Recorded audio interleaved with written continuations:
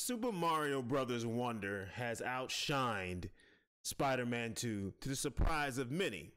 And to put it very simply, this is pretty much what Super Mario Brothers Wonder did to Spider-Man 2.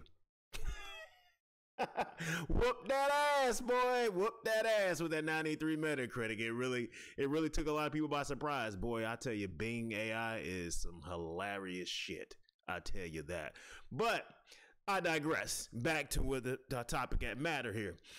Um, shockingly, um, Super Mario Brothers Wonder uh, rated very, very high, and so did Spider Man 2 with a 93 overall for Metacritic and a 90 overall for Metacritic, respectively. Now, this puts into a question that why you clicked on this video. Are they Game of the Year contenders? And if so, which one is actually going to make it? So that's what we're about to talk about here today, real quick.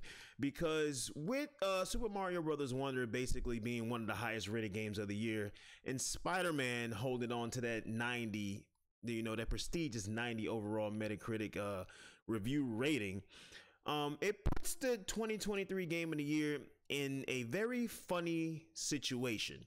Now, don't get me wrong, The Legend of Zelda Tears of the Kingdom is by far the number one contender and will most doubtably, I'm not even gonna say most doubtably, undisputedly will win Game of the Year for 2023. But as far as everybody else that actually can get nominated for Game of the Year this year, these two games definitely put stuff in limbo. So things that were shoe-ins ain't really shoe-ins anymore. Things that was automatic ain't really automatic no more. I feel confident to say right now that Spider-Man 2 and Super Mario Brothers Wonder has definitely just fucked up the whole 2023 Game of the Year nomination process. And in turn of that fuck up, a lot of stuff is going to end up getting snubbed this year. And I think I have the definitive top six nominations because usually it's six nominations that goes on.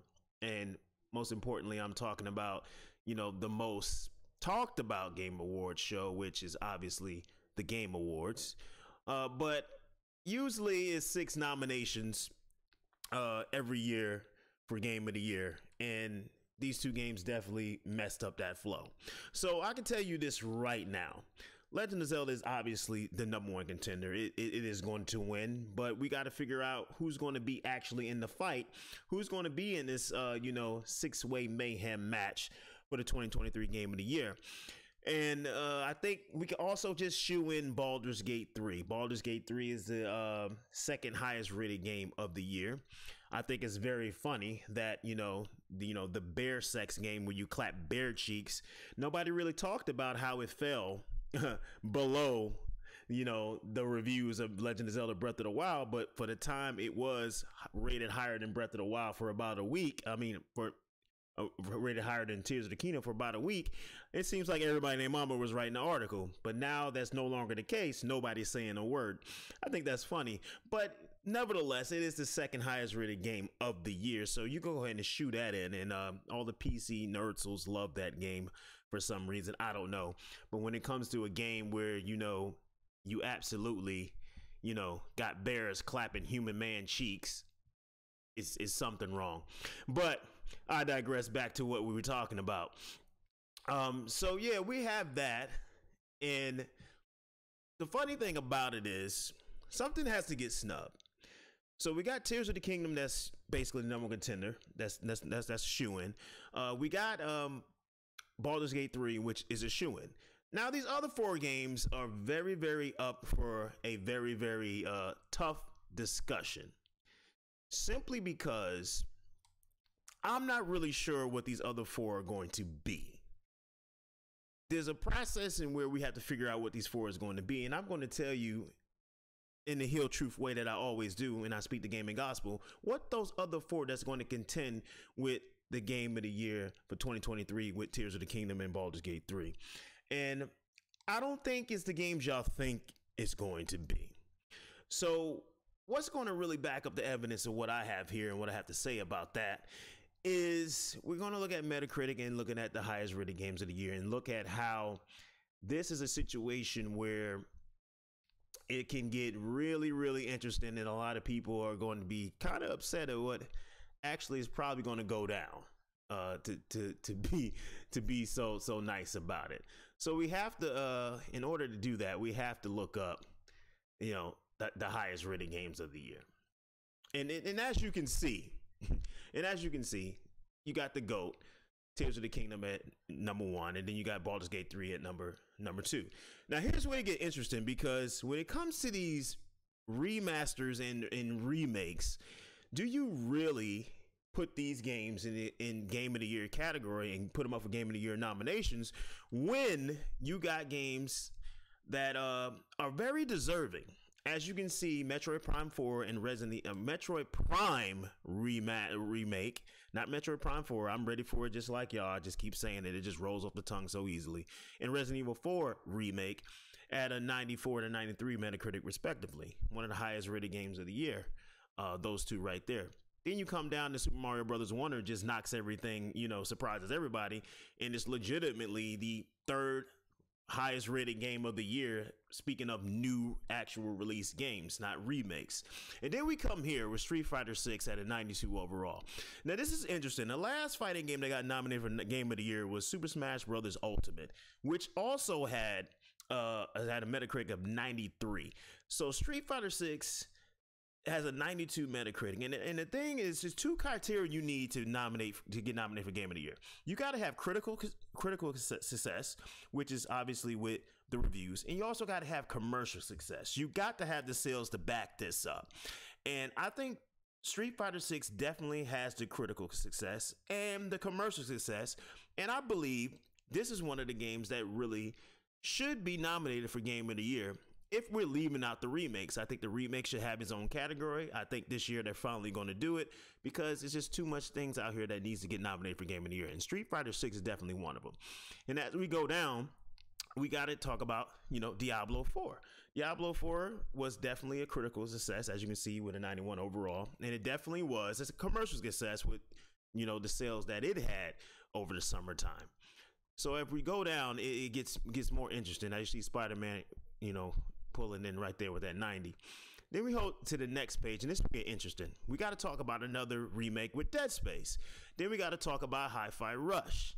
Then we got to bring up Final Fantasy 16. Then we got to bring up Pikmin 4.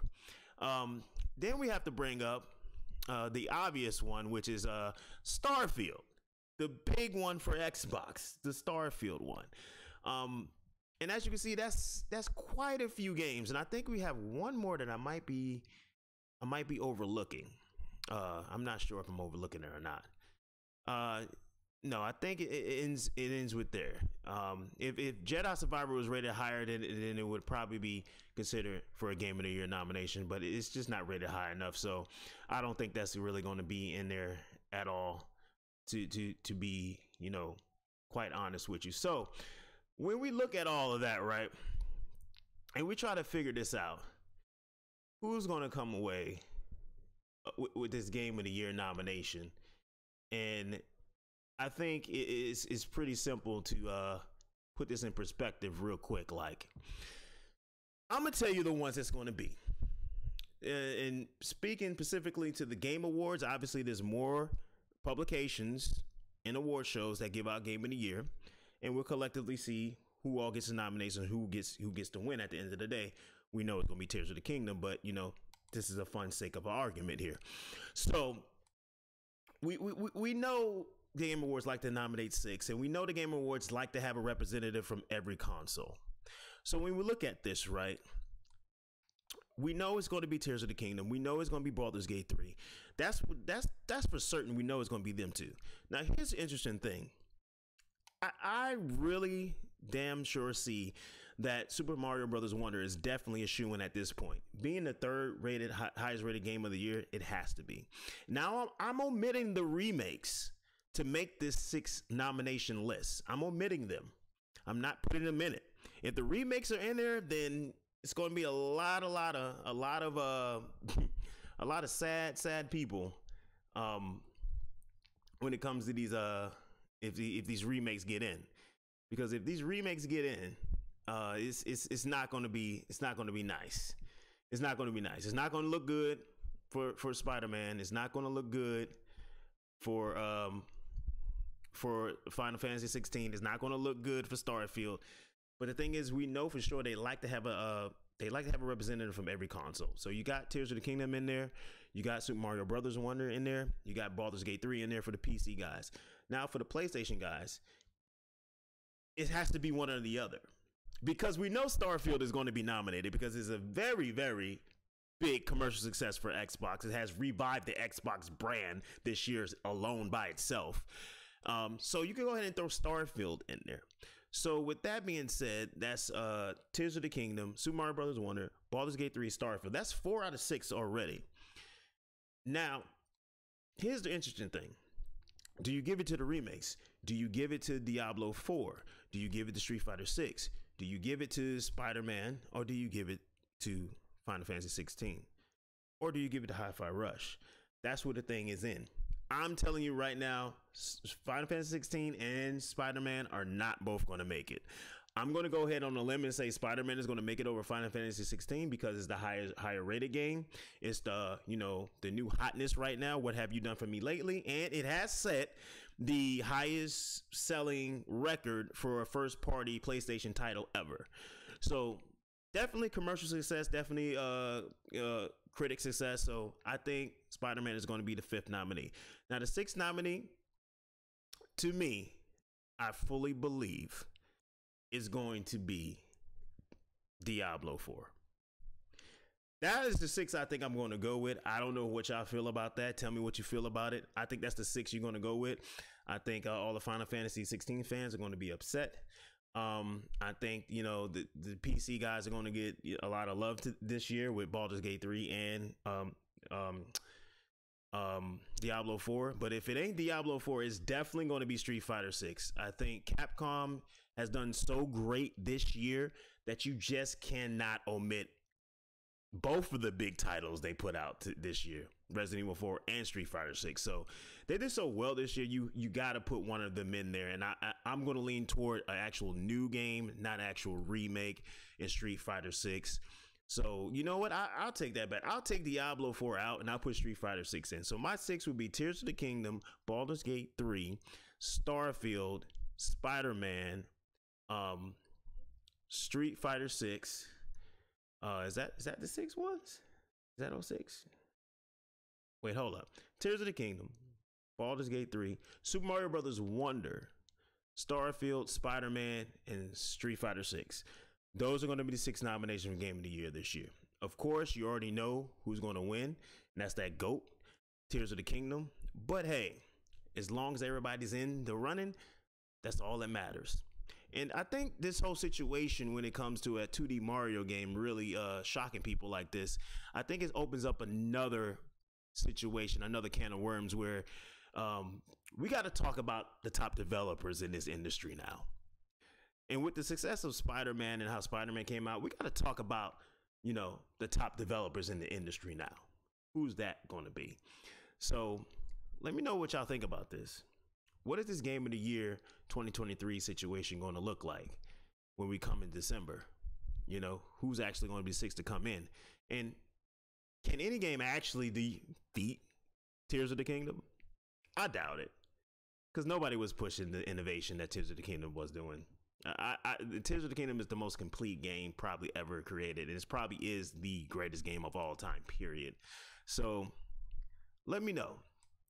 So if you didn't know about the definitive 2023 Game of the Year nominations for this year, you just learned today. Because I give nothing but the heel truth. So help me God.